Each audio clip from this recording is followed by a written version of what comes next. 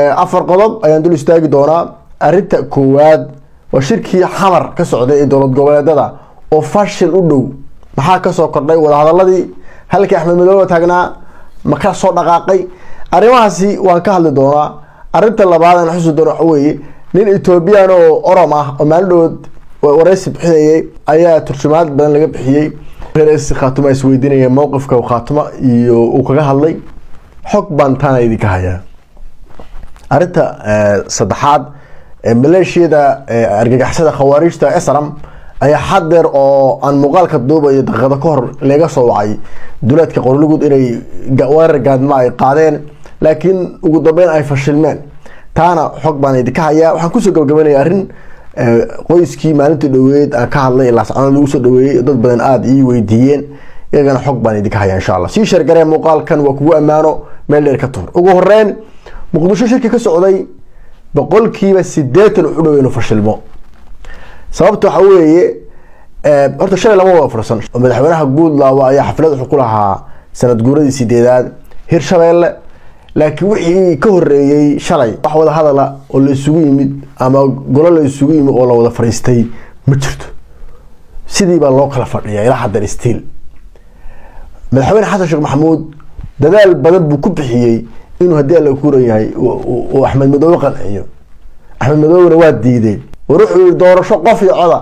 Mahawiyey waxa qabsanaya iyo ninka nalayaalka iyo wiilka ninka reexaweyn may reerkii waxawey sagaalka gobol ee soomaaliya sideed toban gobol soomaaliya wey sagaal gobol daarood baa degan reerkii majority-ga me war huuhaa baanu ku haynaa meesha meesha huuhaa baanu ku haynaa.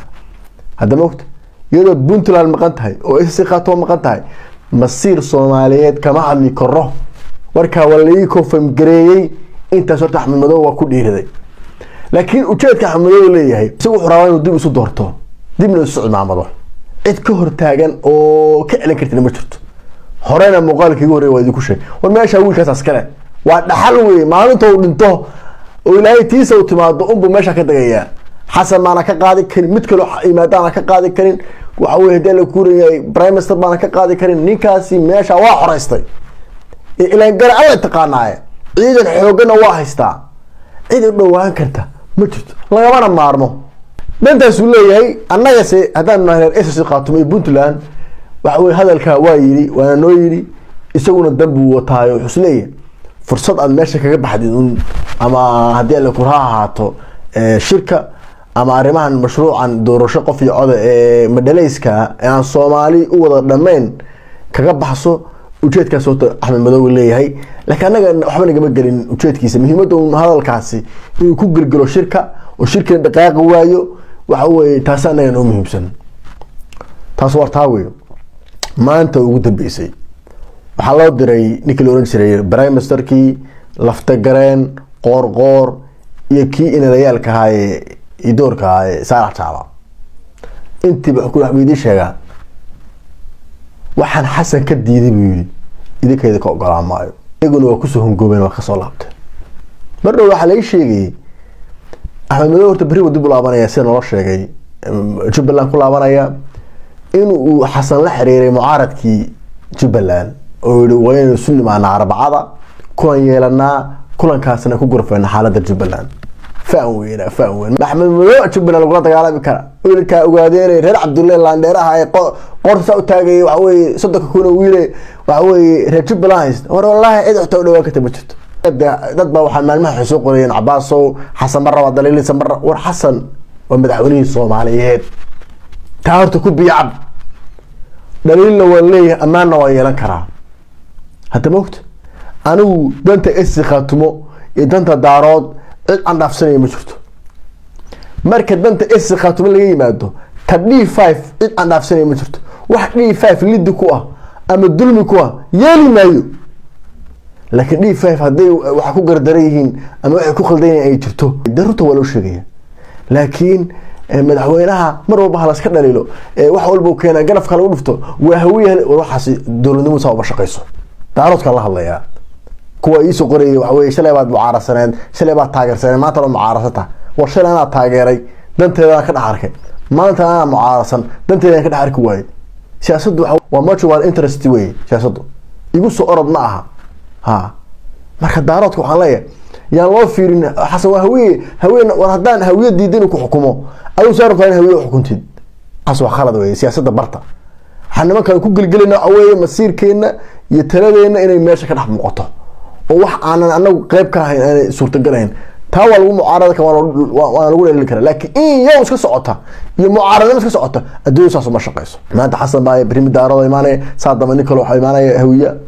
Wayna adigu saa doonaysid inaad wax u xukuntid adiguna u ogolaanid wax xukuntid. Xasan sheekh maxamed madaxweynaha soomaaliyeed hadduu wax wanaagsan ka shaqeeyo oo si wanaagsan u shaqeeyo oo si wanaagsan hawsha wado oo si wanaagsan soomaalida isu kena war waa taageeraynaa annaga dowladnimaana dhaqdaa laakiin dowladnimadaasi haddii lagu dulminayo reerkayga dee taa cidna ka yeeli maayo taa horta dadku inay ogaadaan wey midda kale idiin sheegi waxa weye bal soomaaliya su'aal baa weydiinayaa madaxweyne xasan sheekh maxamed su'aal baan weydiinayaa waxaa leeyahay soomaaliya doorasha laga qabanaya.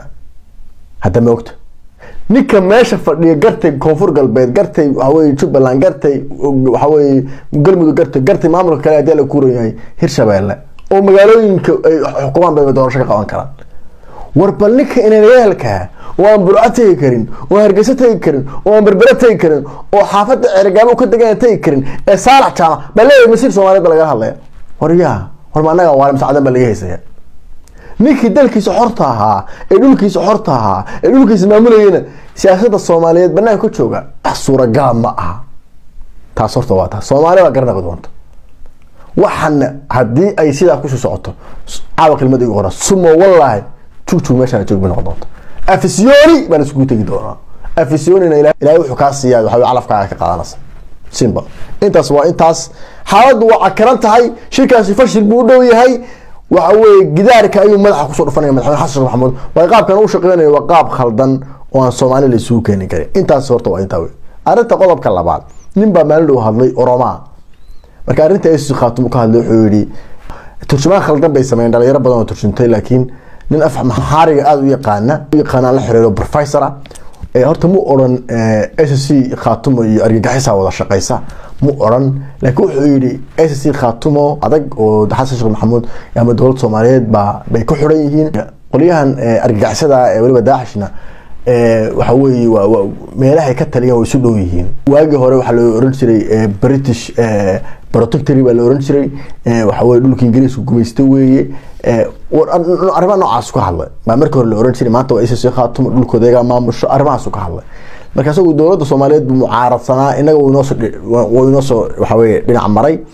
Etoobiyana in hadda snab la socoto shaki kuma jiro laakiin dad baa waxay muujiyeen shaki iyo cabsi. Etoobiyaanka xaggooda wararta etoobiya sidii ay ahaan jirto to ma aha. Etoobiyadii awoodda laheed waa u dhamaatay etoobiya maanta caga ku taagan. Ma jirto. Waa orom ninkani. Horta oromada ma dagaalamaanba. Hadday dagaalamaan dhulkoodii deegaankoodii maanta waxa weye dowladda ay minister ka yihiin bay xoreysan lahaayeen. Farabadnaan way hayaan laakiin ficil ma laha. Dadku waxay moodayaan etoobiya tigreyga haystay. Tigreygu gaalac yaryar bay ahaayeen. Caawa hadday kugu hanjabaan berri waa ku soo weerarayaan gobolka o dhanna waa haysteen simbal marka nimankani waa niman waagu ku beriyey magaalada adisaba keliya etoobiya lagu sheegay maamushaaba gobolkii waxa weye amxaarada faanaa qabsatay guud ahaan. Haddii ala kuuraya oromadii gobolkoodii cagabada kuma taagna. Tigroogu maanta wadahadal waxay kula jiraan eritrea oo ay rabaan ku biiraan. Sababta waxa dhulbay dhulbay hadday etoobiya la joogaan amxaarada hartaan dhulka qaato labadooda mid unbay dooranayaan ka danta ugu jirta waa eritrea. Eritrea hadda waxa weeye ay negotiation ay kula jiraan. Etoobiya inaga hadda wax ina karto. Ma jirto. Ciid ahaana oo burburtay siyaasad ahaana oo burburtay dhaqaal ahaana etoobiya oo burburtay. Midna ogaada reersi khaatuma leeyahay. War ma ogtihiin d d s dowlad deegaanka soomaalida in shan iyo toban milyan oo kablalac ay degan yihiin oo heegan ugu jira inaga taageeradeena etoobiya intay soo durdurisay nagu soo duuleysa waagii hore ilaas canood gacanta cadowga loo gelin niman siyaasiyiina gacanta u geliyey oo daaro ismaaciil oo qaarkood harti yihiin. Baa waxa weye agreement kula gala etoobiyaanka iyagoo dana gaara oo shaksiyad dhaafsanaya in laas canood gacanta loo geliyo jabhadda khawaarijta argaxsadaasana war etoobiyadii waaga awoodda laheyd ee soomaalida far ugu yeereysay ma jirto. War shan iyo tobanka milyan kabla marka la soo dhaafo. Marka la soo dhaafo markaas inagu etoobiya baynu ismudan doonaa laakiin inta ka horeysa cabsiyaani jirin. Siyaasiyan way jiraan. Isla maalintii aynu diriraynay waxa wey haddii la kuuran yahay socday. Dee waa la hubeynayay adoofteedhana waynu ku adkaan. Si kas loosoo hubeeyo si kas haddii loosoo hubeeyo guusha mar walba dhankan raacaysaa. Marka ayaan wax weyn laga soo qaadin intaas waa intaas. Qodobka saddexaad. Qorigood waxaa dhacay caawa waktigan muuqaalka duubaya ka hor oo laga soo wacay qolyo maleeshiyaada ayaa weeraray niman xoolo dhaqato ah oo geel markaas caraabinaya duleedka qorigud oo muwaadiniinsa qaatuma weerarkaasi wiilashii qalasyad ahaa ayaa ilaahay isku beegay iyo maleeshiyaadkii khawaarijta argixisada islam jilbaha la dhigay hal qof oo wiila ayaa dhaawac fudud inaga soo gaaray iyaguna kole carare wax ma ka dhinteen wax ma dhaawacmayn kole waxli habeena berri baa la ogaanayaa. Laakiin weerarkaasi waa ka fashilmay siday doonayeen uma noqon meeshaasina maalmahanba warkooda waa la hayay. Maalinta dhaweyd baa la ogaa markii ay gaadmo soo direen. Falaaga ciidamada ay waxaweye gaadmihii markuu yimid waxaweye laga takhalusay. Watay gabadh reer sc khaatuma ugu argudeen. Labadiiba rabaa inay ka daba tagaan oo ay u argudaan. Laakiin feejignaan ballaadhan baa dadka reer sc khaatuma ku jirta oo ay u diyaarsan yihiin inay si weyn arintaasi uga hortagaan. Berri baan ogaanana khasaaraha gaadhay laakiin waxaan ku talin lahaa anugu war waxaan maalin walba soo socsocda waxaa ninkii soo joogso laga waayo soo jibsaa laga helaa. War waxaan jugjuqda joojin waayo war mar mar gacan la saaro sidii kuwii boqodharkeen habar jeclay hadda boqodharkeen deganeed edab bay yeelatay edab dharbaaxa la dhacay waa la xanuujiyey awoodooda la tusa kuwa maxamed abakor ee waxa weeye qorrigudka urursanay ee maleeshiyada iyaguna gacan bay u baahan yihiin hadda ilaahay bay ka bareeyaan gacan la saaree qalashaduna waa u diyaar wey anigu waxaa ku talin lahaa waxba yaan la daawan waxba yaan la sugin. Hal mar ha tago ha la soo edbiyo shadhow ha laga dhigo si ay idab u yeeshaan. Qodobkaasna waa qodobka wixii ka soo kordha wada arrinta ugu dambeeya qoyskii aan dhowaan idii baahiyey bashiir iyo salma horta xaaladooda waa fiicanti waa fiican yihiin. Bashiir waa reer si khaatumo gabadhan waa reer burco. Gayaan isdoortay iscalfaday reer burcaa bay ahaayeen. Waa la cunsuriyeeyey qoyska waxa weeye cunsuriyad weyn bay la kulmeen. Wiilku meeluu ka shaqeyn jiray waxaa looga caydhiyay reer s khaatum ahaan. Qadiyada u taageeray. Gabadha waa lagu dhibaateeyey xaaskiisa. Isaga xabsi baa la geliyey. Markii dambe waa la soo damiintay way soo ambabaxeen laascaanood bay yimaadeen guuro badan bay ku soo baxeen dhul badan bay soo qardajaxeen xitaa waxaa laga sheegay in markay magaalada ka soo baxeen xataa lug masaafo ilaa toban kilomitr ay soo lugeeyeen oo ay ka baqayeen kantaroolada. Dhibaato weyn bay faamilkaasi la kulmeen. Gabadhu hadda kahor bay sheegtay famil waxa weeye waxay ka soo jeedaan haysan. Maanta laascaanood bay joogaan. Waxaan u baahannahay inaynu faamilkaas u kacno wax u qabano. Garabay gaashaan u noqono. Marka waxaan dad badan ba soo weydiiyey raba inay lacaga gaarsiiyaan. Horta waxaan rabnaa inaan horta guri u dhisno ama guri u iibino waxay ku shaqaystaan oo ay ku degaan ay ay ay markaasi helaan. Soomaaliya o dhan baana soo eegeysa waxaa laleeyahy war gabadha ay qoyskaas iscalfaday ee halkaas masaafadaa soo jaray war wax ma u qaban doonaan? Su'aal baa saaran wax ma u qaban doonaan? Su'aashaas aada la isu weydiinayaan. Marka falaawarkan ah taageerada qoyska bashiir iyo salma waxaa rabaa inaad nagala qayb qaadatid fadlan oo qof kasta oo soomaaliyeed iyo qof kastoo d five a inuu ka qayb qaato nambarka goliska ah waa zero nine zero afartan afartan iyo saddex afar iyo toban hal baa u dambeeya. Waxaa ku soo bixi doona waa namber golisa bashiir maxamed cabdiraxmaan. Fadlan waxaa idinka codsanayaa wiilkaas waxaan rabnaa gurina inaan u iibino qoyska waxay ku shaqaystaan oo caruurtiisu bariiskiisa kula soo baxana. Inuu helaan doonana insha allah qof kastoo ka qayb qaato waa ajar iyo xasanaad weye qoys soo haajiray oo haddii ala kuleeyahay meeshay ahaayeen war hal alaaba xitaa ma wataan waana toban kilomitr masaafe haan bay ka soo lugeeyeen. Dhibaato badan iyo handadaad badan bay la kulmeen. Hadda ma ogtahay marka qoyska inu isu taagno insha allahu tacaala walaalayaal isgaarsiiya nambarkana waa nambarkaas weeye issheergareeya weliba la xiriira taleefkayga wata la xiriira iyo koonkaba la xiriiro insha allah haddii la lacagaha la isgaarsiiyo khayr badan ba idin rajeenaya muuqaalkaas ii sheergareeya